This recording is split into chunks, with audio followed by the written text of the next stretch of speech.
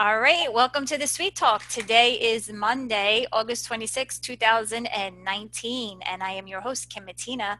And today, I am so happy to have on the show Mr. Bruce Reicher and Jen Laban. Is that did I say your names correctly? It's it's Leban, but um, I am so used to all the pronunciations. I am so sorry. No, so no problem. I should have asked you how to pronounce it before we went on before we went on the air. But it's, you know, this is live and it's Kim, and you know, this is perfectly fine. It's all no good. worries. It's all. I am a human being, so. You um, nailed mine, right? Sure, you got it. What's that, Bruce? No, you got mine, so you're good. All right, as long as I one out of two is not bad, fifty percent, you know. well, today Bruce and Jen are going to talk about WeVideo. Um, WeVideo is um, an application that you can use in the classroom, and I think it's important to to showcase WeVideo and how it can be used. Um, some people really don't um, want to take the leap and try to learn it or um, see the need for it.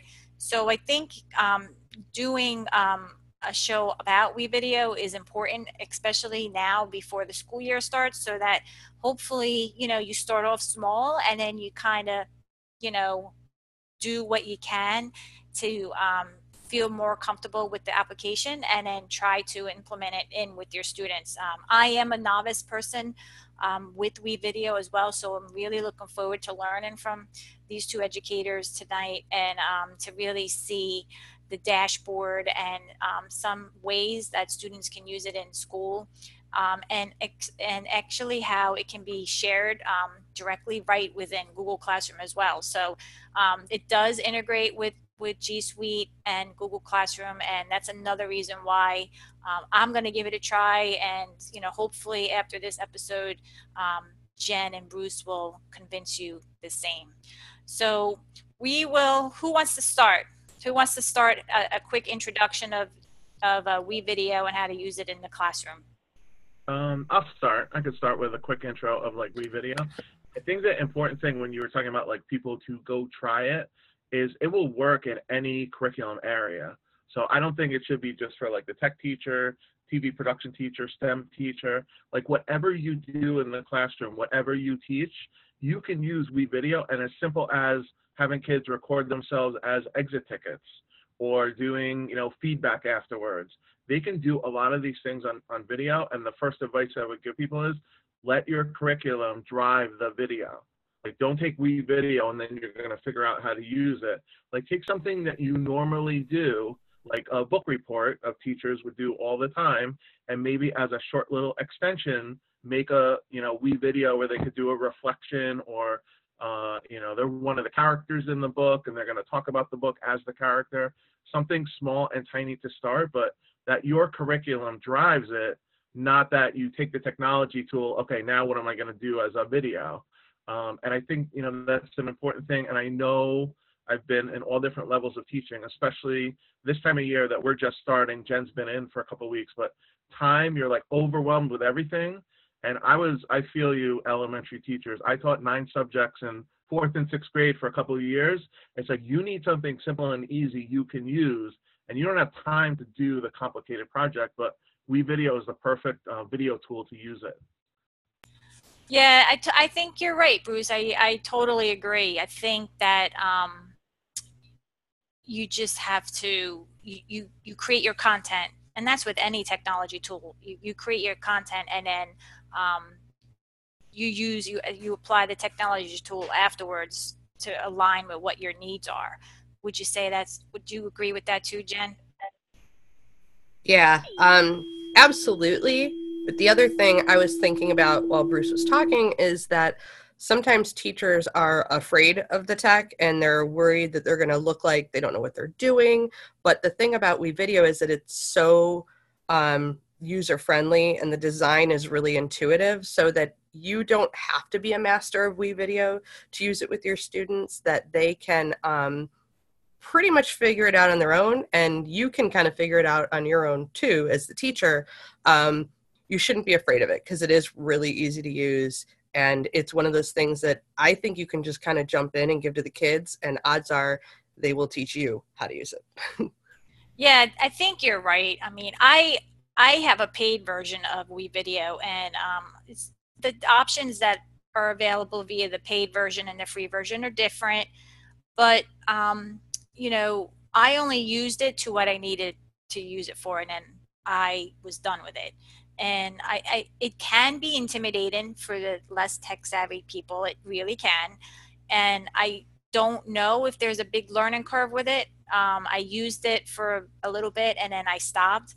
Um, but I think that for the less tech savvy teachers, it can be intimidating. That's why I think it's important for you guys or one of you to go over the dashboard so that you can show off how easy it is to um, insert an audio and insert a video and, and what, you know, obviously students need a webcam, a device with a webcam, but um, you know i know we video offers layers. You can layer your video and you can put transitions in there. So i like i really think that needs to be um, displayed so that people don't feel scared of it. No sounds good. I'm going to share my screen in a moment and then jen definitely you know like jump in. And the other like hardware pieces if you're on ipads if you're on even kids using their phones like high school kids or Chromebooks, especially in the beginning, like I would use what you have. Like if you have a Chromebook and you have a camera and you have a microphone built in, especially in the beginning, you don't need to attach anything else. All the tools, hardware tools that you need are either built in that iPad or they're built in the Chromebook or iMac uh, or sorry, um, MacBook Pro, whatever computer, even iMac that you're using, they all have a built-in mic. They all have a built-in camera, and that would be the easiest way um, you know, to start. And the other thing to keep in mind is it definitely is called WeVideo, but it could also be like We Audio because now they also offer podcasting. And that might be a way to kind of start if you're intimidated. Just go and you're going to record the audio and export it, and your podcast is done. And then maybe transition, you know, into the video. And on the screen share, Jen and I, we can we can show you that. So let me my screen full screen So now, do you see the WeVideo dashboard? Yeah. Okay, cool. So when you go in, um, you could use um, any device, and that's important, and it's cross-platform. When you first log in, this is what you see, which is similar to me to like a blank piece of paper. And then these tools on top, there's a star tool called the Essential Library, which is copyright-free video clips, regular clips, audio clips. We're going to spend most of the time in there. And then right next to it in the media library is where the built-in camera and built-in microphone are. The other things we will leave for another day of the transitions and titles and other fancy things. But this is really important, this Star Essential Collection, because it started with a couple hundred thousand to half a million. Now they're up to 1 million copyright free assets. I no longer have kids search for like on Google search for images. So let's say we were in New York City today. So I'm just in the regular search and I'm going to type in New York City and then hit return. The essential collection goes through. And now if I click on these, these are all professional video clips that I could use in my video. And I just did it by a simple search. It's video on top, pictures in the middle, and sound on the bottom. Right now it's finding all, but I could say I just want images from New York City and I don't want any video or I hit the triangle down and also I'm just looking, this will be interesting, sounds of New York City. So what the Hudson River sounds like, what a subway sounds like. I could go and everything in this is drag and drop. So if I go back to the video clip for a moment, and let's say um, I like that Times Square, everything is drag and drop. It's it's loading in that preview screen. I drag and drop it. Notice it turns green. If I try to put it in the audio, it will turn red. It won't let me put it in there. And I'm gonna um, drop that into a video clip where it says video clip two right now. So simple search engine, almost anything you could think of is in there and it will search through like it's 1 million assets and it's awesome that it's copyright free you don't have to look anymore i don't have my students look anymore in just a normal uh, a normal um, Google search. The other thing to point out is where it says video one, video two, I could press the plus sign, Kim, and add either an audio or a video track. But I do this, and I would highly recommend doing it, is you can rename these tracks. So if I click over video three, it's just a simple text box. I could rename that one text that I need on top of my video. And then maybe on the bottom, if I wanted to have some type of background or whatever I wanted that layer to be, I would just type this in. And then this also becomes the directions to my students of what I want on each track. And the other thing I'm going to talk about, and then I'll have Jen like talk about, have me kind of direct me around. If you're on a Chromebook, especially, you can make as many tracks as you want, which sounds cool. In the beginning, it's not so cool on a Chromebook because after you make a couple audio tracks, and I'll put this full screen, the audio tracks will like go below. So you want to make sure that that's another reason to kind of label these tracks like audio one could be voiceover because I'll know I don't have to make any other um, audio track or else I've seen kids have, you know, 10 or 15 audio tracks and then they can't find where they recorded their voice. Ah, uh, okay. That's that's a good tip right there. I like that. Okay. That makes a lot of sense.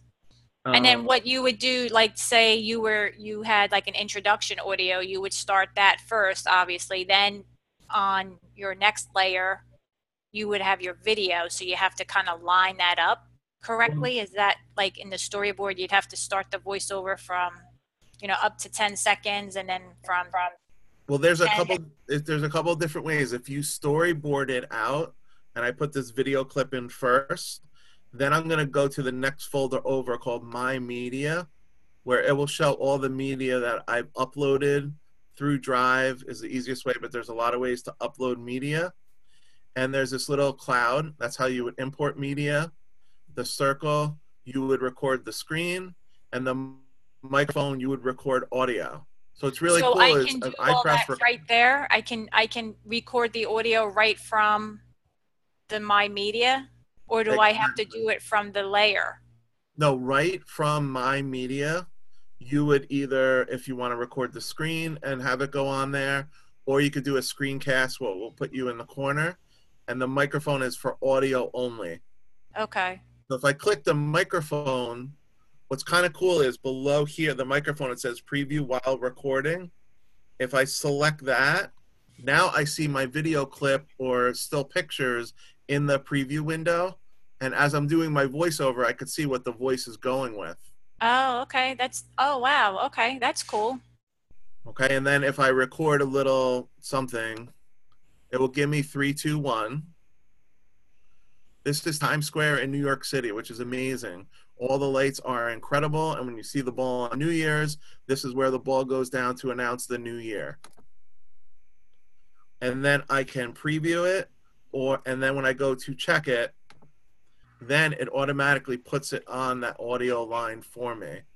And this in the beginning, too, depending on the speed of the network in your school, I'm at home, but be patient because remember, you're uploading to their site. In iMovie, I was used to, like, if it's on the computer, it might be quicker because it's just saving right to a hard drive. You're uploading things, it does work, but it's not like instantaneous. Okay. And then I have my video clip, my voiceover down here. Now, if I played it, this is Times Square in New York City, which is amazing. All the lights are incredible, and when you see the ball on New Year's, this is where the ball goes down to announce the new year.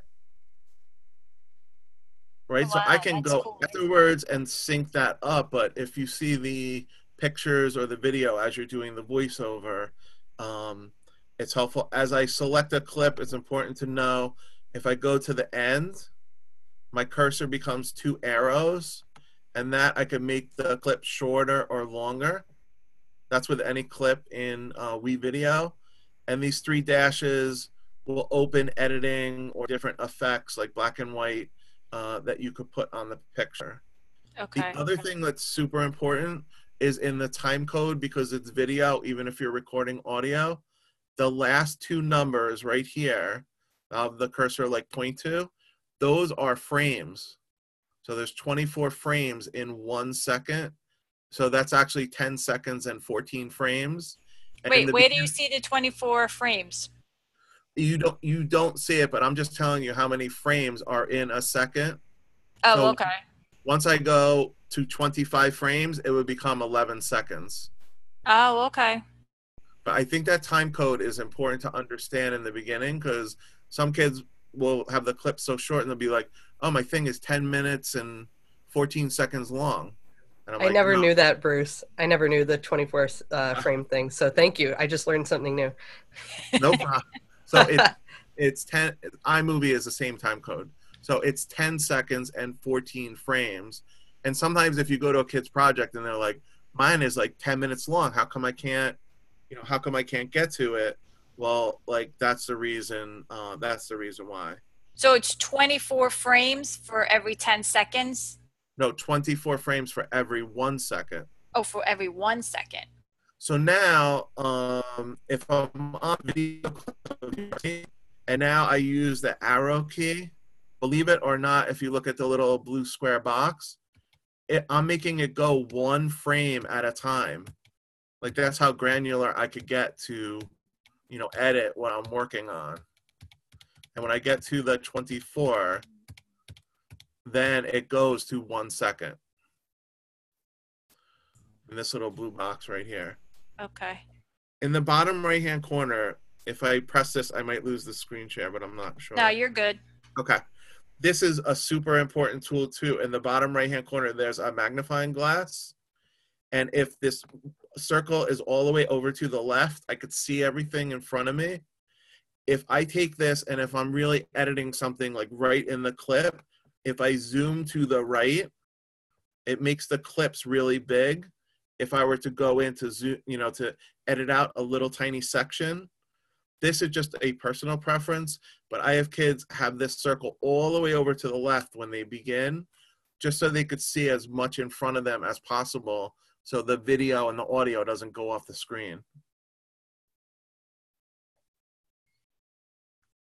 I'm taking notes as you're talking. That Yeah, that's no, no. actually good because, like you said, then the student or the user can see everything in one screen or one view without having to scroll.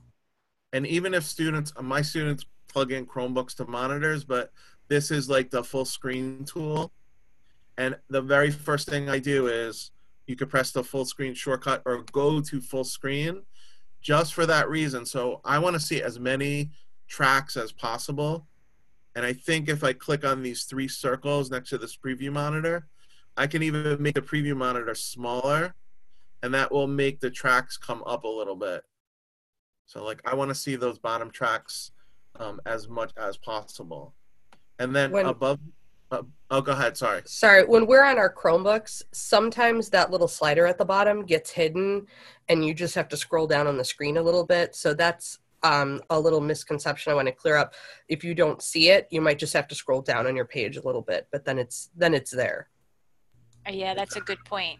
Yeah. I'll show you another because this happened to my students and me in the beginning, uh, Kim, and probably maybe to Jen's students. So I'll just show you. If I go and now I want another New York City, and I'll just get another clip and I'll put it next to it. Okay, sweeping of New York City next to it.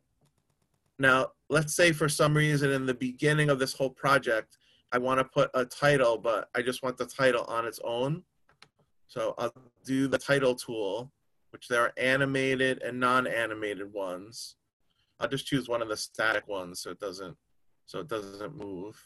And let's say I want this, but I just want it over black.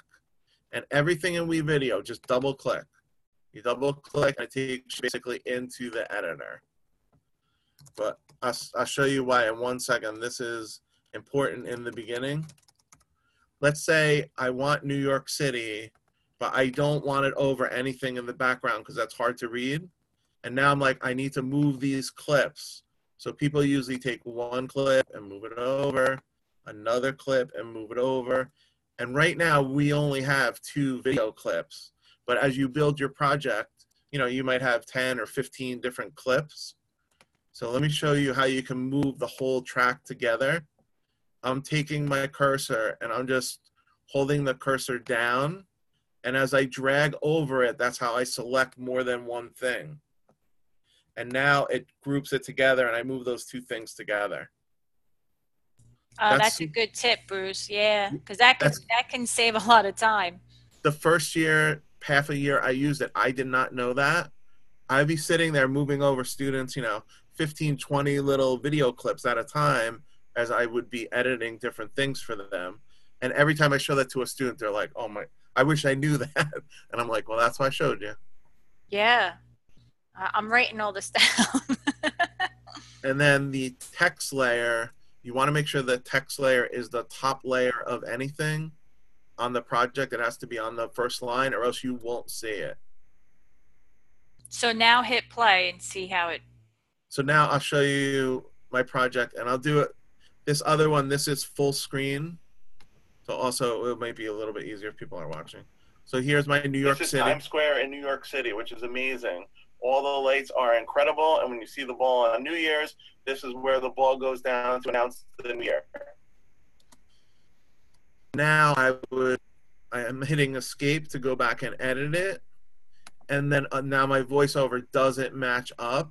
So it's just a drag and drop. And now I could get my voiceover like right to the beginning where that clip of New York City, uh, you know, or of New York City shows. Um, and in the beginning, I might do another voiceover now just saying, you know, New York City by Mr. Reicher or whatever, you know, the kids want to record in the beginning um, and you just start populating these tracks of different you know titles video clips audio clips um, all different um, assets uh, that they have in in WeVideo. So Any other, any any other tips, Jen, that you use like with your kids of like when they're starting out? Um, I was just thinking of a couple different things. Um, one being that WeVideo does have um, uh, templates. So if you're unsure, you know, and you want that support when you create a new video project, there is that option. The theme. Um, where no, where is if, that at? if you Oh. back out to your main dashboard, I, I know exactly. Okay. yeah.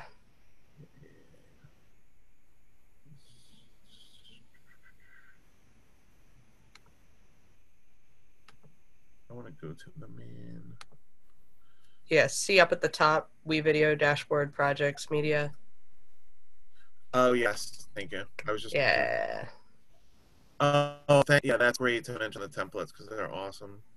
I've I don't actually use them, but I know that for other teachers, that's a big um, that's a big feature for them. So where it said choose a template, yeah, Yeah, that's yeah. that's that's good to know because like especially in the beginning, you can just use a template and then you Yeah. just content in there. You don't have It's to a worry good about sup- transitions, right? yeah, it's a good support I think for teachers starting out. And then the other thing I like to show teachers, particularly elementary teachers, is the ability to switch from the timeline view to the storyboard view, because the storyboard view is much less complicated.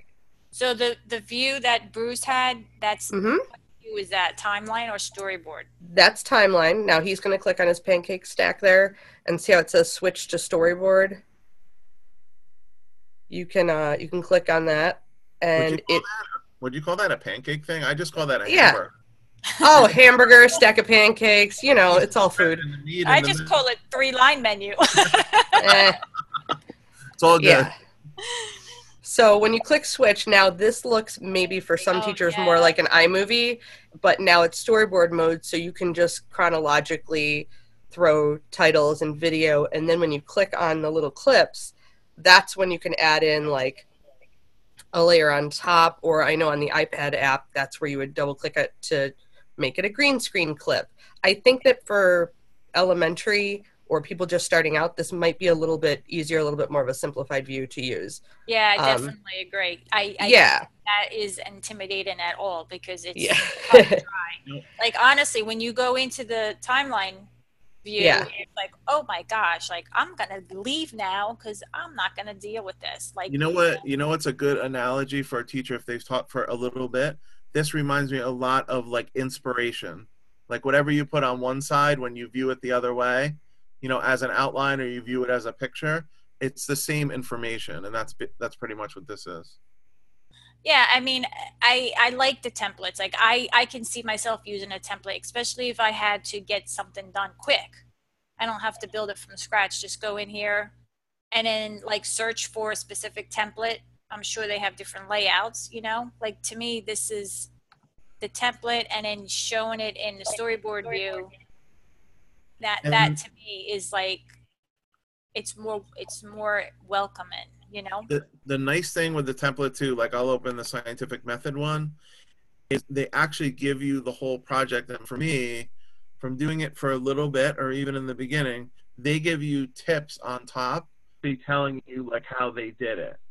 So when i open this once this opens in a moment um, you'll see the tracks will be labeled everything is populated everything is filled in. And you see what i mean now about like grouping things together to move them like, look how many assets they have in here. Yeah. Hey, I am surprised at how complicated that actually looks. I'm yeah. like, wow. Like to I'm me, gonna... like I wouldn't, I wouldn't even touch that. You know, like I would, I would, I would definitely just start off very simple. yeah. The thing to do, I was, I like always starting off on a blank canvas, but with this, what I would do is view it like full screen, and at least go through it, even to give p- teachers possibilities in their head of what they could do with it and then go to like the blank. It's like this is what it looks like. Let's playing. But then you have to go in and edit all that and then you have to figure out which I guess object you want to edit. Right? Right. This is just like you would take this as just like copying it and making it your own the template. Right but if you go back into the um this what is that the timeline or the storyboard? Yes. this is what? What is this view called? The timeline. Timeline. All right this is timeline. So if i wanted to change a, a slide and just say it's in the middle of the presentation or the middle of the video i have to go through each of these um i guess objects and find it Bruce, can you view a template as storyboard view? Can we experiment? I don't know if that's a thing, but maybe if we saw it that way, it would be simpler. We're about to find out. All right. You know what I mean, right, guys? Yeah, I, I kind of Absolutely. agree with Jen too. This is a very busy, like for the first one that you're looking at. Like I know what the things are, but let's switch it to storyboard mode and see how we do.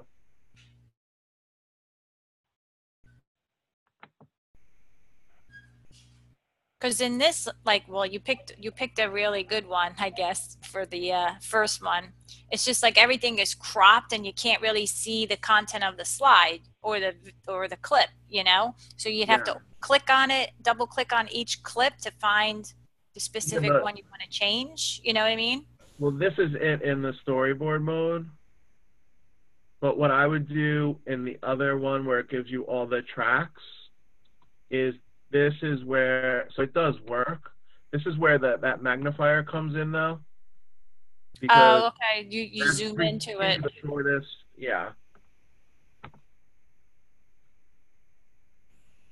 So down over here, this is a good example actually in this lower right hand corner.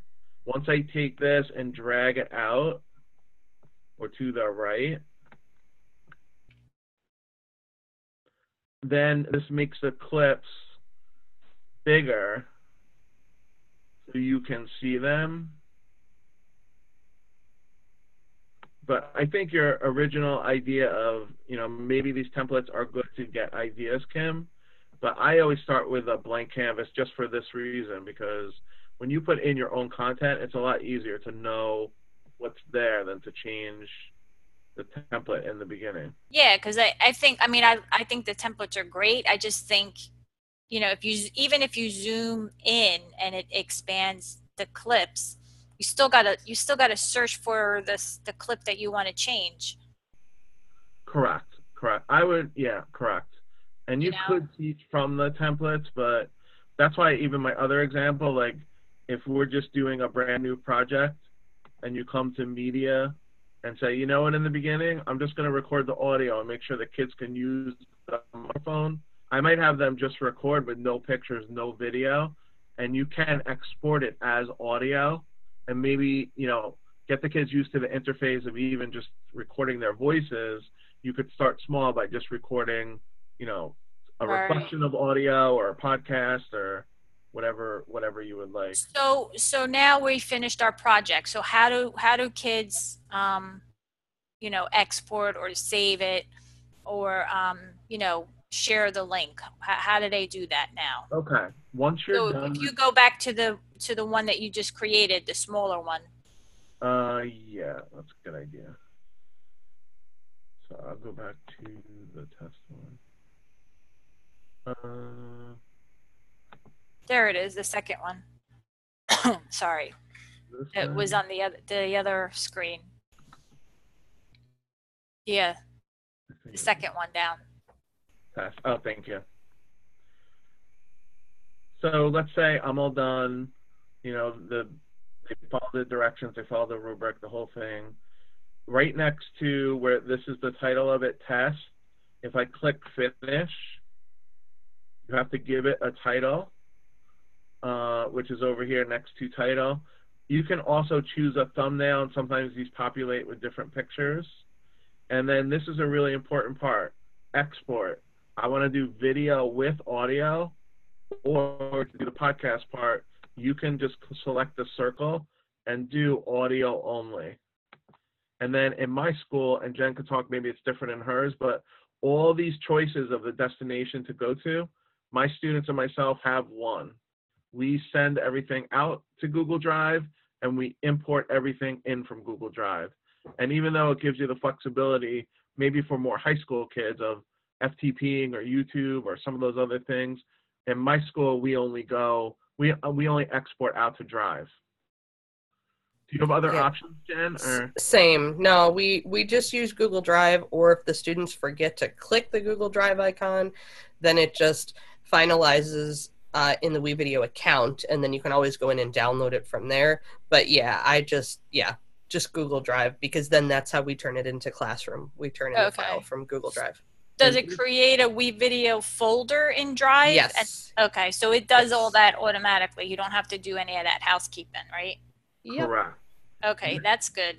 And I basically, when kids are doing videos like for the TV show, they'll send everything to their own drive, and then they'll right click on the file and just share it with me. And for collecting projects, you know that that's the way that I do it, so I could see what's coming in. If a student just clicks export, it goes through this and actually makes it just as a link.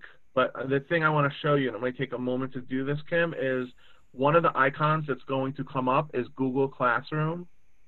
That you could share it right from WeVideo right to a Google Classroom assignment. Okay, that's nice.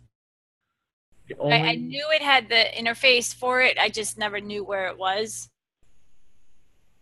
I'm just gonna go to a regular project, so I'm not sure if this is gonna export so quickly.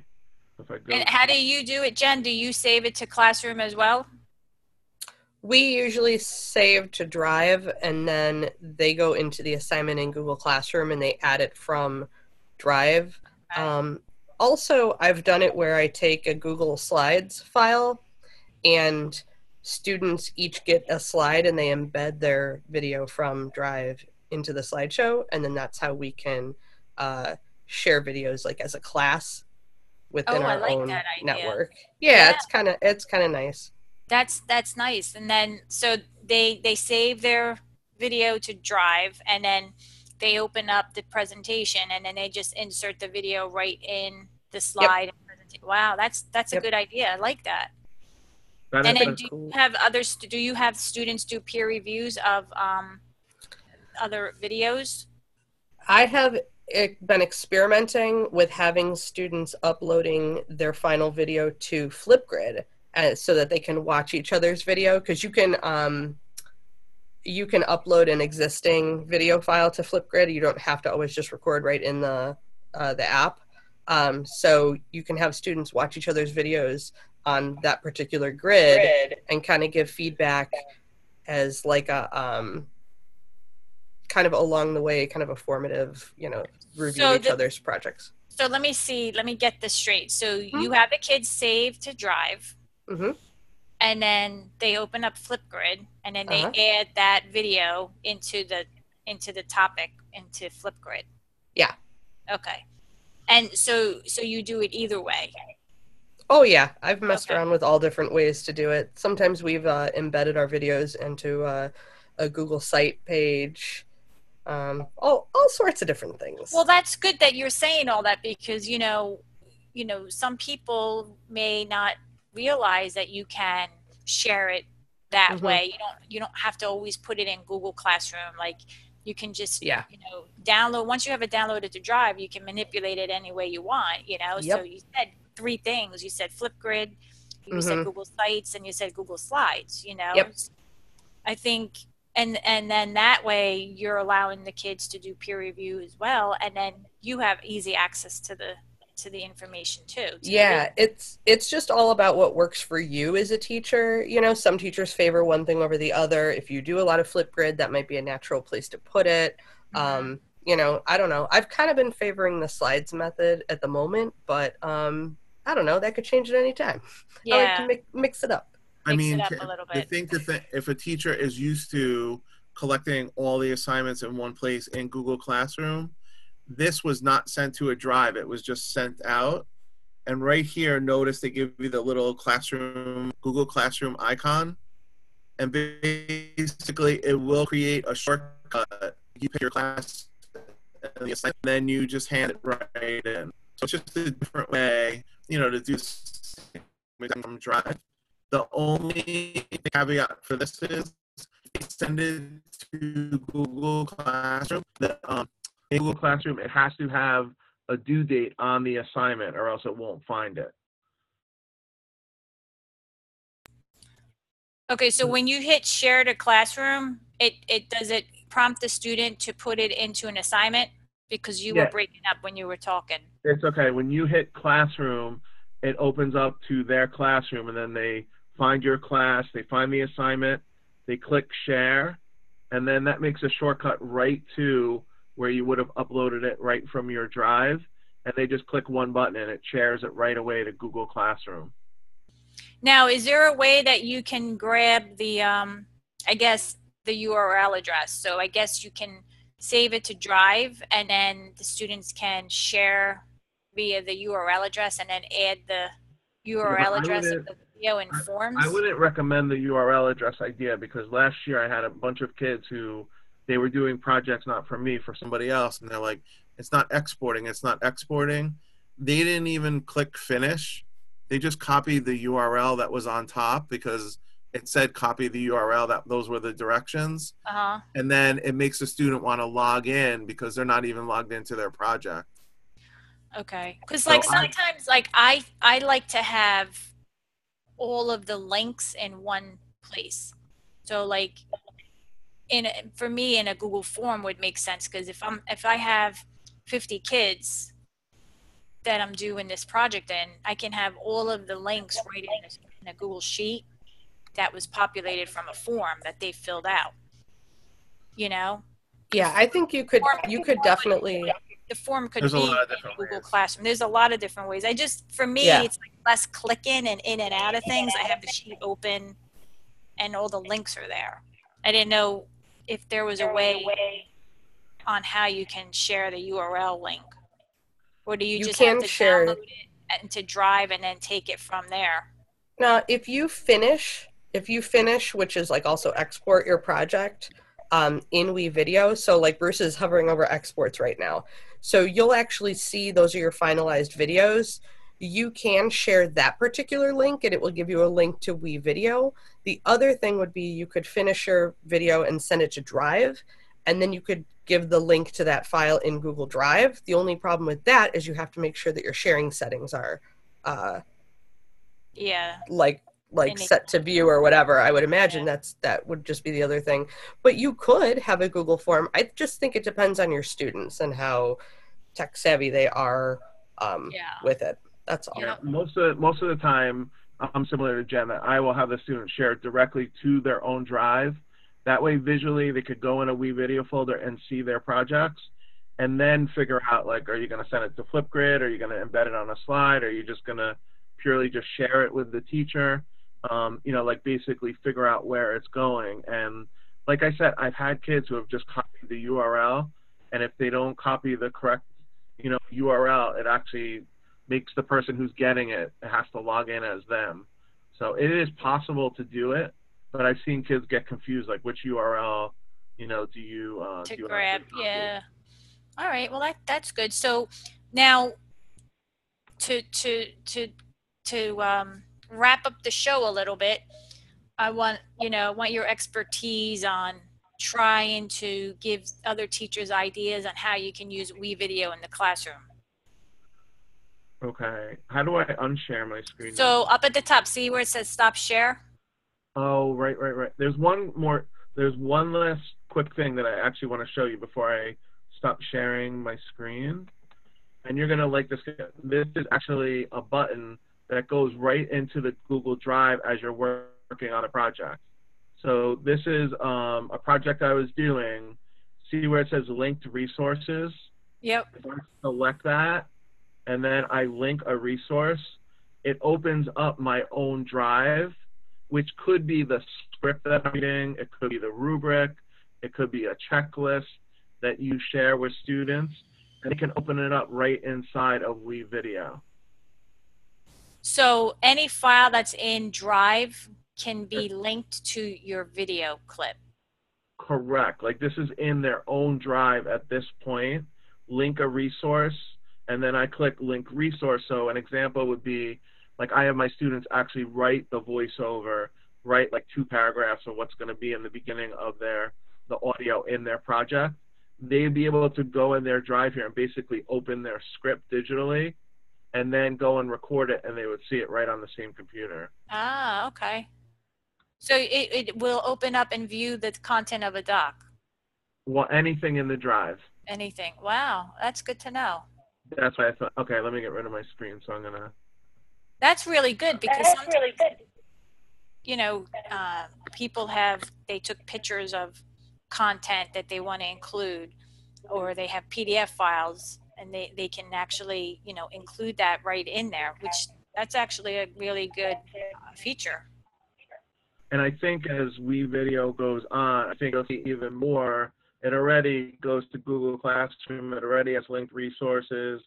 I think it, there's even going to be more integration that could come, you know, of the two things working together, you know, just to make it easier that you go to WeVideo to do your project. And like I was saying before, almost with the Google image search, there are no other tabs that are open. Like now I could just stay in my project, um, you know, the more resources they add.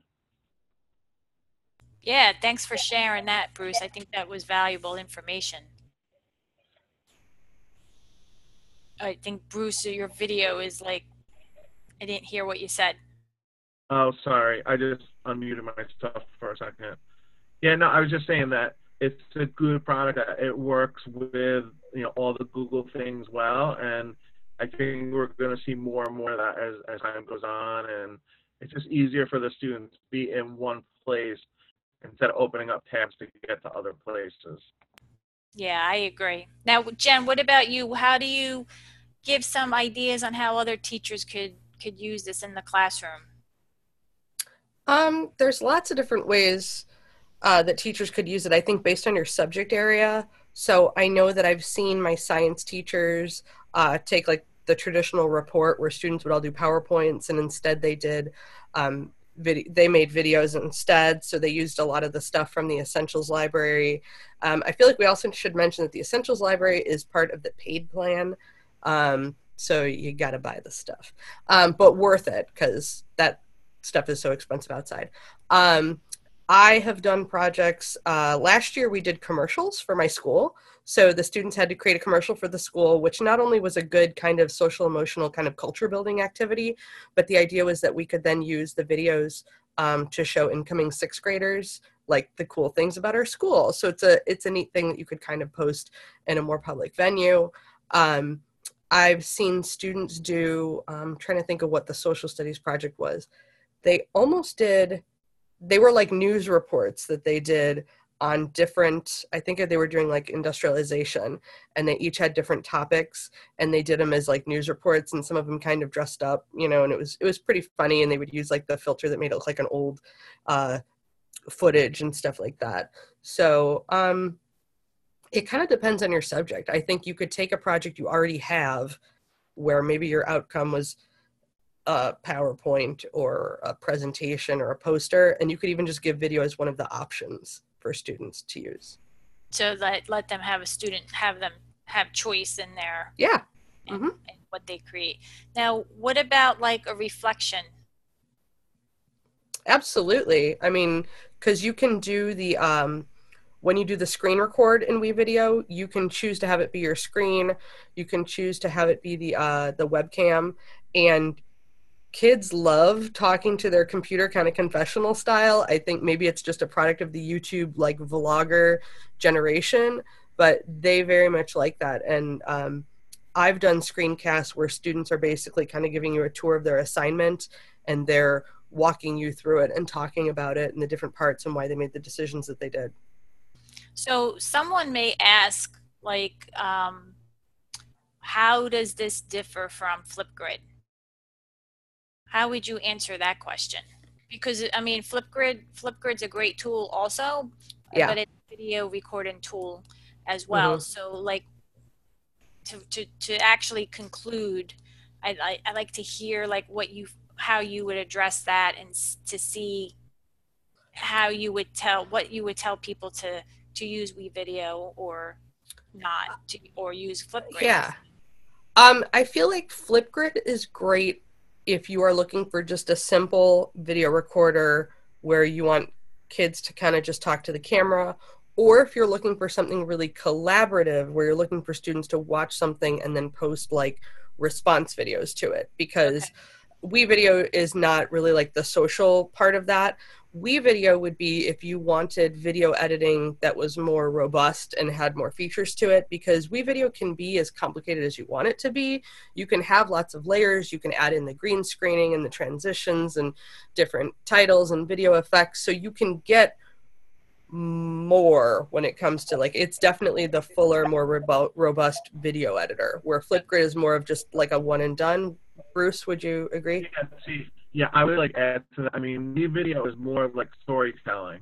Like you're coming up with the story of your class, the story of learning. In my own case, with like a TV news show, like they're going out and doing news package like video features on what's new for what's new in school this year, and they'll go and interview three or four different people in the school. So it's a little bit more complex where Flipgrid, you you do see what the other people are saying. Um, but I think it's more like storytelling. It can really be movie making if you want to take it to that length of, you know, plan everything out, block everything out, and where all your scenes are going to be. And I know Flipgrid has those cool, you can add backgrounds and like different scenes also. Um, but I think it's more like a long form where Flipgrid to me is like, I know you can change it, but it's like 60 seconds or less, I think, that you're just getting responses where know the video—it could be a 30 second public service announcement but it also could be a five minute documentary which like the kids in my school had done you know for historical events in the enrichment or gifted and talented classes. So i think you know just different tools um, it's not one is better than the other but i think it's more towards the long form and digital storytelling uh, you know and they both are awesome that they can be used in any curriculum yeah, I totally agree. I just I wanted to clarify that because some people may think, well, I'm using Flipgrid already. What's the difference? Why do I have to use WeVideo? So I'm glad that you both um, contributed to that because I think it's important to hear like your opinions and how you differentiate the two tools. Um, you know, because like you said, the WeVideo could be more complex and more. Yeah. Um, you know, it can be as long or short as you want and add different types of transitions and special effects to it and music. We didn't mention music, where Flipgrid is not as complex as that. Yeah, although they keep adding features to Flipgrid, so it does have more than now than it had before, and you can change like the length of your videos and stuff. I have some teachers that use Flipgrid as their method to like create the content and then download the videos in Flipgrid into WeVideo to then do the editing and the finalizing and the adding titles and things. So honestly, I think they're two tools that actually work really well together. Oh, that's good. I'm glad. I'm glad that you mentioned that because apps app smashing is the way to go sometimes. So, you yeah, know. I agree with Jen, and like I said before, even though it's called We Video, it could be called We Audio. That you don't need a third party software now to go do podcasts. That you could just record your audio track and put little music in in the beginning and end, and your podcast is done. And I don't does I don't know does Flipgrid have audio only if you don't want to use video. I think you I'm not sure even if you could just record audio and not even see yourself. I don't I don't think so at the moment. I don't know if that's an option um, or not. But that's another thing about WeVideo I would say might be different than Flipgrid. I think yeah, I think it's just meant for video Flipgrid, which makes total sense. Um, so you can actually see the person and you know their response. Well, I have to say, I learned a lot tonight, and I really want to thank you for being on. I, I was really looking forward to this show. Um, I know I feel a lot more comfortable with the dashboard now.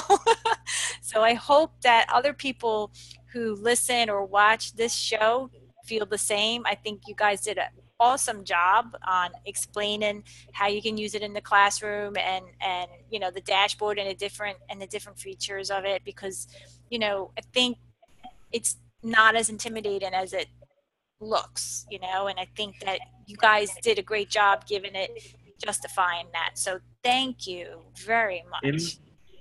In, in the in the beginning, I would totally tell people because I did this myself wevideo.com slash academy is all little like one minute videos of how to do everything in WeVideo. And I know when I first started using it, I'm like, I don't get the green screen. I don't know how to do it. All right, go back, watch like the little two minute video on it, um, especially in the beginning because it's all new. So wevideo.com slash academy is their own little tutorials, but they're little snippets of tutorials and they're helpful. I'm going to um, have all that in the Wakelet collection. So um, you can access that little um, academy there and, and check out those little tutorials. But what I'm going to do now is try to figure out, let me see here, how to share my screen now. So let me see here. Hold on a second. Um, share screen. All right. Can you see my screen? I hope you can. Yes. All right, cool. All right, so um, if you want to visit my uh, website, it is at www.thesuitetalk.com. That's the S U I T E talk.com.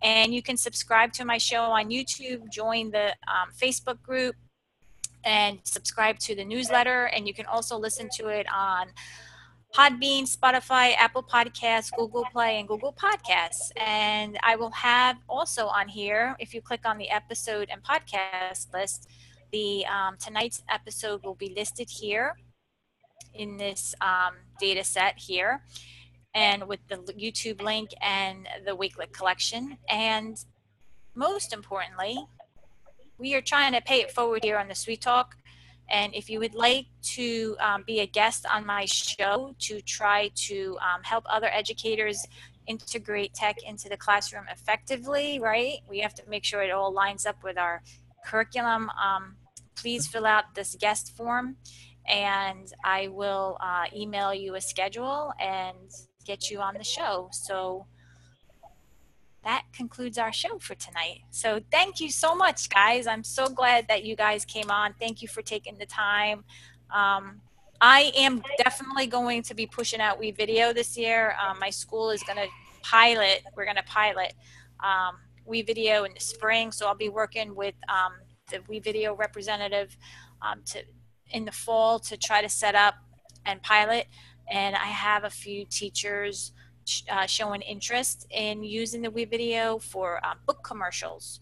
So really excited about that, um, and I think it's it's going to really step up um, the game for the students and and really really take ownership and be engaged in what they're doing. So I really I'm excited about it, and maybe when I get going with it, I'll have a show and follow up with you and and kind of discuss where we are in our WeVideo journey.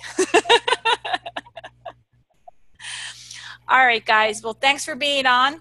Thank you for having us. Thank you, and uh, I will see you again next time. Have a great evening. Thank you. Bye.